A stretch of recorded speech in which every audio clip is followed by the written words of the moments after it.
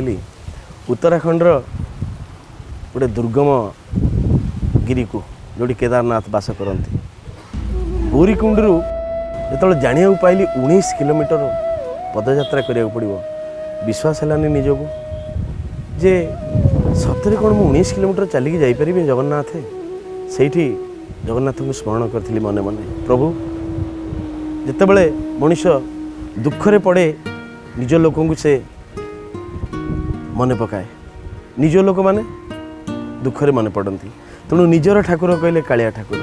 ସେ ହିଁ ପ୍ରଥମେ ମନେ ପଡ଼ିଥିଲେ ତାଙ୍କୁ ହୃଦୟରେ ସ୍ମରଣ କଲି ମନେ ମନେ ସ୍ମରଣ କଲି ପ୍ରଭୁ ମୁଁ ଜାଣିନି ତୁମେ ଦୟାଳୁ କେମିତି ମୋତେ ଟିକେ କେଦାରନାଥଙ୍କ ପାଖରେ ପହଞ୍ଚାଇ ଦେବ ସେଇ ଉଣେଇଶ କିଲୋମିଟରର ପଦଯାତ୍ରା ଯାହା ହଉ ଚାଲିବା ଆରମ୍ଭ କଲି ରାତ୍ରିରେ ଦେଖୁଛି ଜହ୍ନ ନାହିଁ ତଳେ ବରଫ ସାଇଡ଼୍ରେ ବରଫ ଉପରେ ମଧ୍ୟ ବରଫପାତ ହଠାତ୍ ଯାଇ ପହଞ୍ଚିଲି ଗୋଟେ ରିଙ୍ଗଚୁଲି ବୋଲି ଗୋଟେ ଜାଗା ସେଠି ଦେଖିଲା ବେଳକୁ ମାଇନସ୍ ଦୁଇ ଡିଗ୍ରୀ ଧରି ପଡ଼ିଲି ମୁଁ କହିଲି ଆହୁରି ସେଠୁ ରହିଲାଣି ଚାରି କିଲୋମିଟର କେମିତି ଯିବି କି କଷ୍ଟ ତଥାପି ବସିକି ଗୋଟେ କଣରେ ସହଧର୍ମିଣୀ ପୁଅ ମଧ୍ୟ ଯାଇଥାନ୍ତି ମୁଁ କହିଲି ଚାଲ ଜଗନ୍ନାଥଙ୍କୁ ଡାକିବା ଇଏ ଚାରି କିଲୋମିଟର ଆଉ କାହିଁ ମୋତେ ଲାଗୁନି ମୁଁ ଅତିକ୍ରମ କରି କେଦାରନାଥଙ୍କୁ ଦର୍ଶନ କରିବି ଯାହା ହଉ ଠାକୁରଙ୍କର କ୍ରି କୃପା ଧୀରେ ଧୀରେ ଧୀରେ ଚାଲିଲୁ କିଛି ଲାଇଟ୍ ନାହିଁ କିଛି ଜହ୍ନ ଆଲୁଅ ନାହିଁ କିଛି ନାହିଁ ଖାଲି ବରଫ ବରଫ ବରଫ ମୋବାଇଲ୍ର ଟର୍ଚ୍ଚ ଦେଖେଇ ଦେଖି ଧୀରେ ଧୀରେ ଗଲୁ ସକାଳ ସାତଟା ତିରିଶରେ ପହଞ୍ଚିଲୁ ଉପରେ ଧୁଆପୁଆ ହେଲୁ ଏବଂ ନଅଟା ତିରିଶରେ ଠାକୁରଙ୍କୁ ଯେତେବେଳେ ଭିତରେ ଯାଇ ସେ ଜ୍ୟୋତିର୍ଲିଙ୍ଗକୁ ଦର୍ଶନ କଲି ମୋତେ ହଠାତ୍ ଜଗନ୍ନାଥଙ୍କର ପ୍ରତିମୂର୍ତ୍ତି ଭଳିଆ ସେ ଦେଖାଗଲେ ମୁଁ ମନେ ମନେ ଭାବିଲି ପ୍ରଭୁ ସତରେ ତୁମେ କେଡ଼େ ଦୟାଳୁ ପହଞ୍ଚେଇ ଦେଲ ମୋତେ ଆଣିକି ଏତେ ବାଟ କେମିତି ମୁଁ ଚାଲିକି ଆସିଲି କେମିତି ଏତେ ବାଟ ଠାକୁର ହିଁ ଜାଣିଥିବ ତେଣୁ ଯିଏ ଅନୁଭବୀ ସେ ହିଁ ଠାକୁରଙ୍କର ସତ୍ତା ଅନୁଭବ କରିପାରିବ ଠାକୁର ସବୁ ଜାଗାରେ ବିଦ୍ୟମାନ ଆମର ବିଶ୍ୱାସ ଯେତେ ଆମେ ସେତେ ତାଙ୍କୁ ପାଇବା ତେଣୁ ମୋର ବିଶ୍ୱାସ ଥିଲା ବୋଲି ଜଗନ୍ନାଥଙ୍କ ଉପରେ ଏତେ ବାଟ ମୁଁ କେମିତି ଚାଲିକି ଗଲି କଳ୍ପନା ବି କେବେ କରିପାରେନି ଯିଏ ଯାଇଛି ସେ ହିଁ କହିପାରିବ ତେଣୁ ଜଗନ୍ନାଥ ବଡ଼ ଦୟା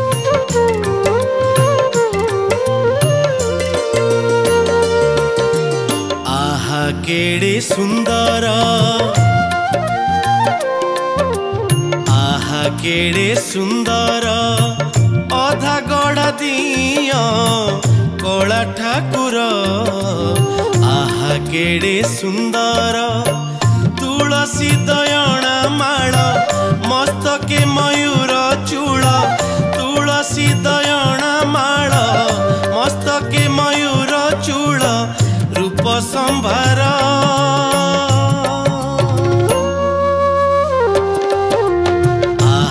केड़े सुंदर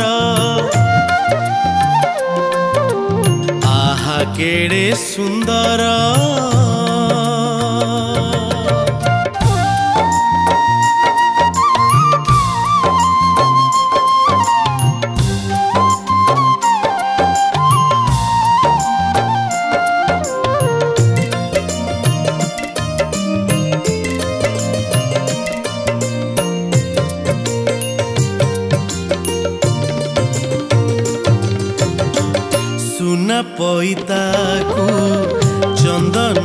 ଚିତା ନାଲିଆ ଧରେ ହସ ମିଠା ମିଠା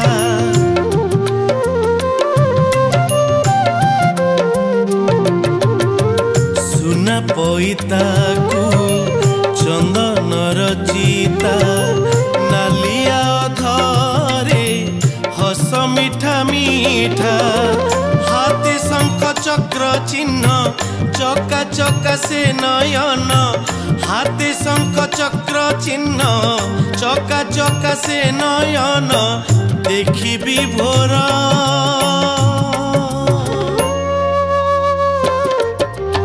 आहा केड़े सुंदर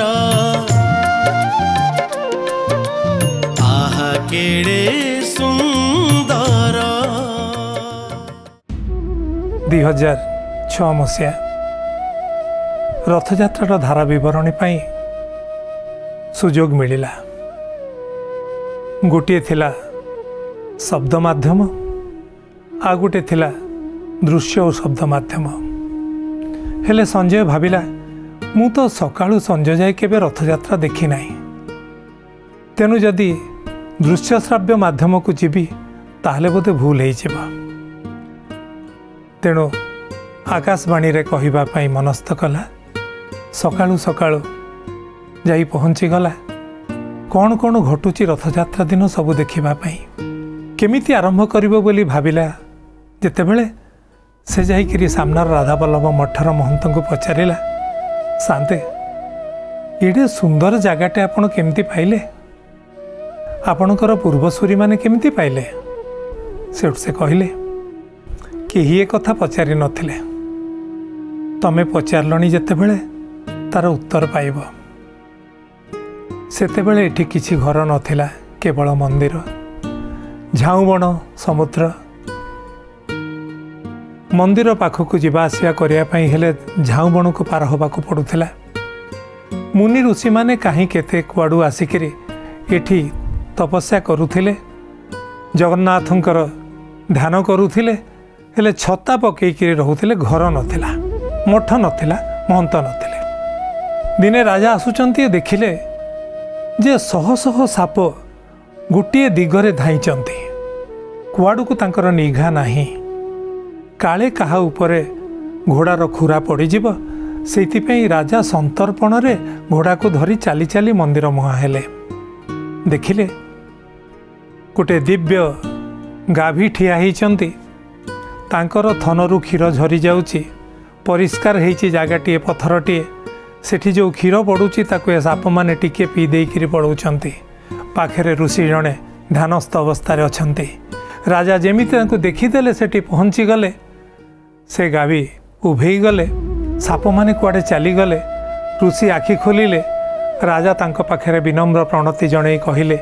ଏ ଜାଗା ଆଜିଠୁ ଆପଣଙ୍କର ଆପଣ ଏଇଠି ରହିବେ ତାପରେ ତିଆରି ହେଲା ମଠ ଗୋଟିଏ ପରେ ଗୋଟିଏ ମଠ ତିଆରି ହେଲା ସେଇ କଥାରୁ ସଞ୍ଜୟ କଥା ଆରମ୍ଭ କଲା ହେଲେ ପ୍ରଥମେ ଏତେ ପାଖରେ ଏତେ ଅନ୍ତରଙ୍ଗ ଭାବରେ ରଥଯାତ୍ରା ସବୁ କଥାକୁ ନିଘା କରୁଥାଏ କେମିତି ଠାକୁର ଆସିବେ କ'ଣ କରିବେ ସବୁ ମନ୍ଦିରର ଯେଉଁ ଅଫିସ୍ ସେଇ କାର୍ଯ୍ୟାଳୟ ଉପରେ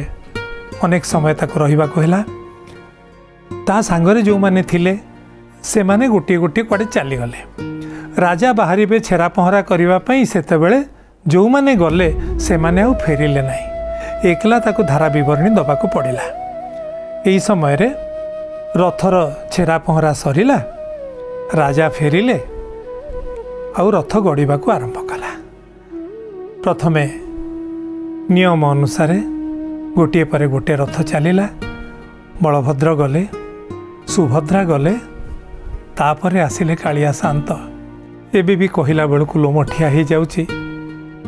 ରଥ ଆସିଲା ସଞ୍ଜୟ କହିବାକୁ ଆରମ୍ଭ କଲା ସେଠି ଯେଉଁ କହିବା କଥା ସେତେବେଳେ ନା ପାଖରେ ଥିବା କେଉଁ ବହି କାମ ଦେଲା ନା ଭାବିକି ଆସିଥିବା କିଛି କଥା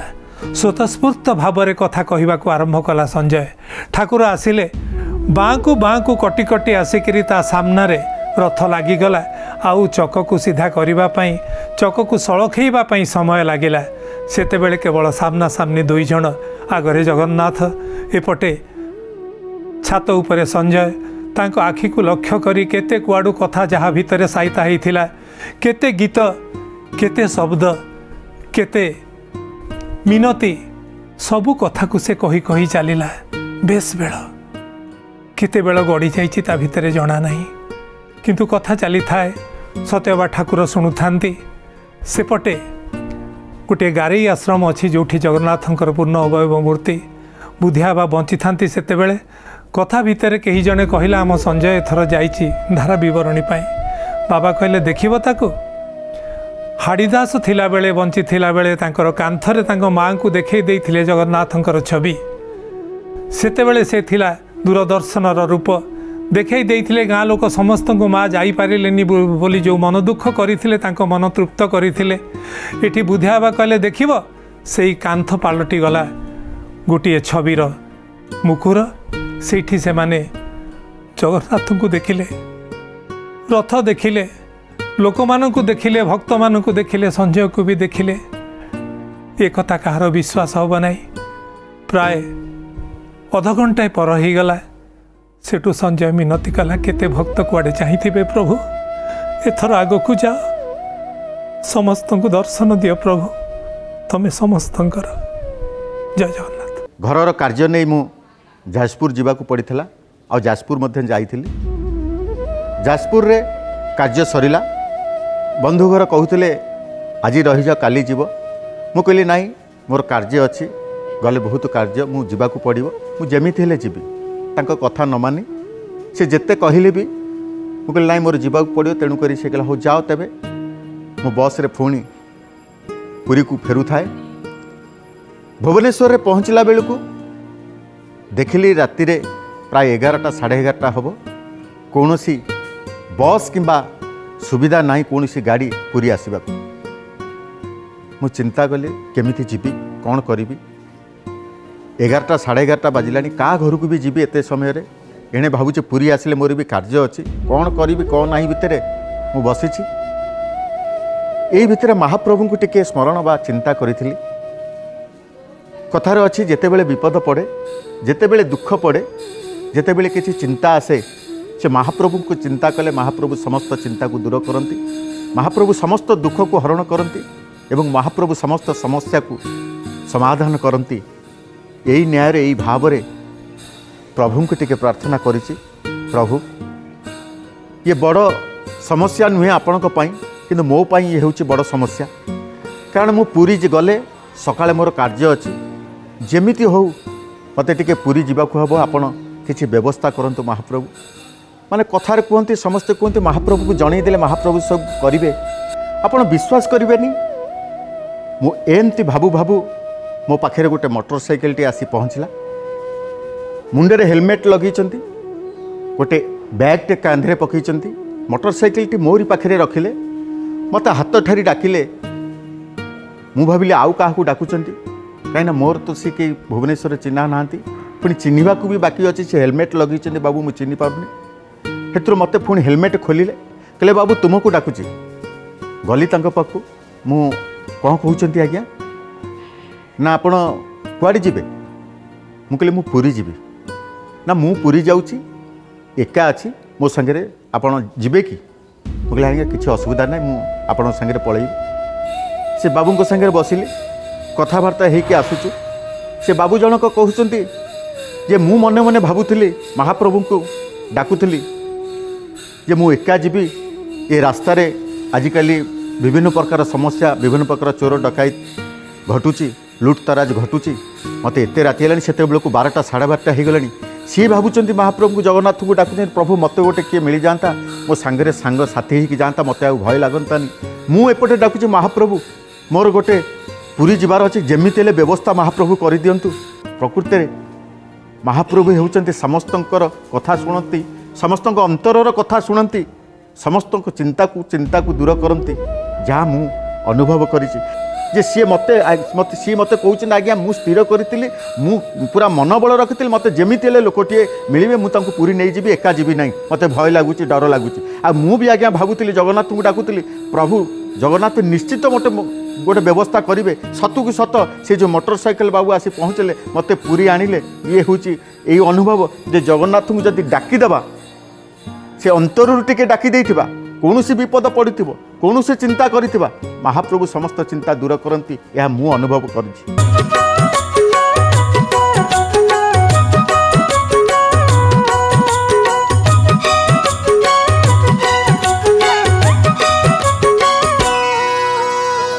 নিদরু উঠিলে আখি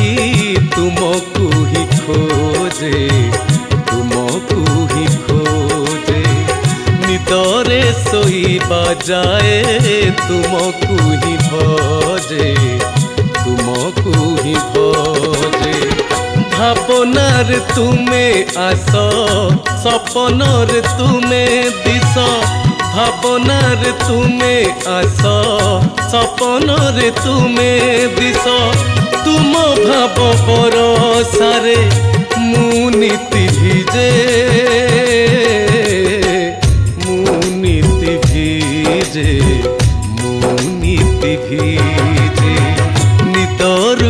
ଥିଲେ ଆଖି ତୁମକୁ ହିଁ ଖୋଜେ ତୁମକୁ ହିଁ ଖୋଜେ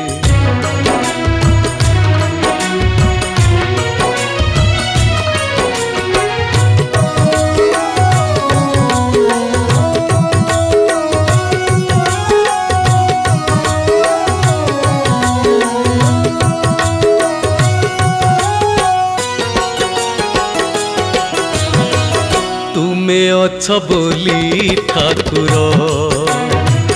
ଘର ଲାଗୁଛି ମନ୍ଦିର ଅନ୍ନ ଖାଇଲେ ଲାଗୁଛି ମହାପ୍ରସାଦ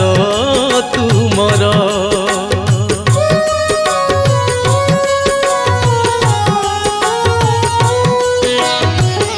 কেহি যদি বঢ়ায়ে পাণি